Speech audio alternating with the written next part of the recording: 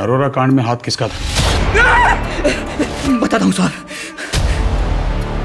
आप जो ये गड़े मुर्दे उखाड़ रहे हैं ना सर बंद करिए ये क्योंकि हिमांशु पटनायक जो करता है वो बता के और जता के करता है। जैसे क्रिकेट में आखिरी बॉल में मैच पलट जाता है वैसे राजनीति में आखिरी मिनट में राजनीतिक समीकरण बदल सकता है। सर ऐसी खबर लाया हूँ आप चौंक जाएँगे। आज तक किसी वर्दी पहनने वाले पे गोली नहीं चलाई है। मजबूर मत कर। मुझे विजय सिंह का एनकाउंटर करने का ऑफिशियल ऑर्डर चाहिए। वक्त हर सवाल का जवाब दे देता है, लेकिन सही वक्त आने पर।